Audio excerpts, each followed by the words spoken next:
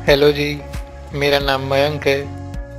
तारीख सात फरवरी 2020 अहमदाबाद। ऑफ़िस से छुटकर मैं और मेरा फ्रेंड, हम दोनों गए चाय की टपरी पर।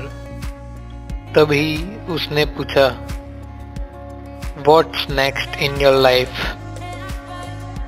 nothing पता नहीं क्या करने वाला हूँ। अभी तो ये सब चल रहा है।